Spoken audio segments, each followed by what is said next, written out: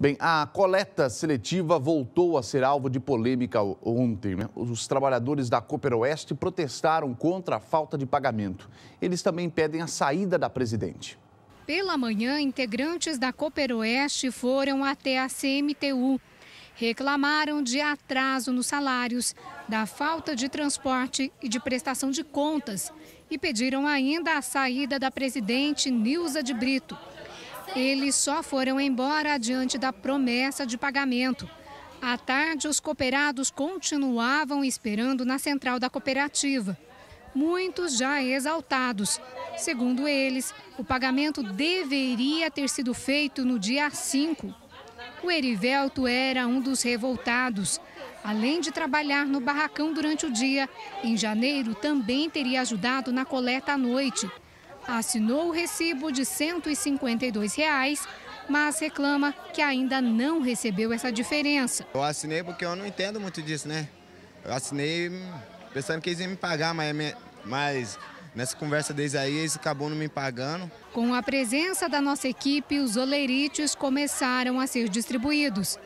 A promessa é que o pagamento mesmo saia nessa quarta. Além do atraso, os trabalhadores reclamaram dos valores no Olerite da Rita, salário bruto, 488 reais. Com o adiantamento e os descontos, ia sobrar 195 reais. Eu sou uma mãe de família, tenho quatro filhos dentro da minha casa. Quatro filhos. É o dela vai lá todo mês certinho lá. Não só o meu, mas tem outra mãe de família aqui, porque a maioria daqui cooperativa são mulheres que levantam cedo e vai trabalhar. Nos olerites, os descontos chamam a atenção. Um deles, o de reserva.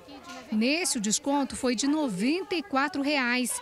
Segundo os cooperados, seria para a compra dos EPIs, equipamentos de proteção. Pergunta lá no banco lá se, se tem algum dinheiro de reserva lá, a menina vira o computador para o nosso lado e consta assim, saldo negativo, nunca tem.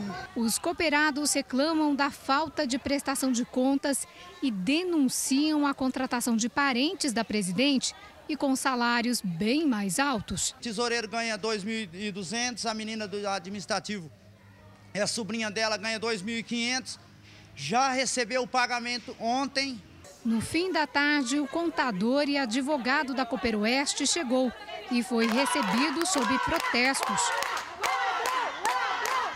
Segundo ele, a redução nos salários é culpa da CMTU, que não fez os repasses esse ano além de reduzir os valores. Desde janeiro, a CMTU não pagou um centavo para nenhuma das cinco cooperativas que fazem a reciclagem do lixo na cidade de Londrina. Então, gargalos e dificuldades. Não se recebe da CMTU. E o que ela quer pagar é menos de 50% do que vinha se recebendo até então. Ele negou ainda que o dinheiro da reserva esteja sendo desviado. As reservas existem e foram utilizadas para pagamento de impostos, taxas e funcionários administrativos. Já os cooperados prometem fazer ainda esta semana uma eleição para mudar a presidência. A gente tem capacidade de mudar, só que agora que a gente acordou para a vida, foi pegar o estatuto, ler bem do que se trata, o que cabe, o que não cabe e a gente vai mover uma assembleia para troca de presidente, sim. Doa quem doer. 79. Aqui, ó, às vezes a intenção com as cooperativas é boa, assim como era também com as OCIPs. Mas tem serviços, gente, que não adianta. Tem que municipalizar. Tem que municipalizar. Sabe por quê? Porque é sempre esse rolo e confusão. Lembra das OCIPs na, na saúde?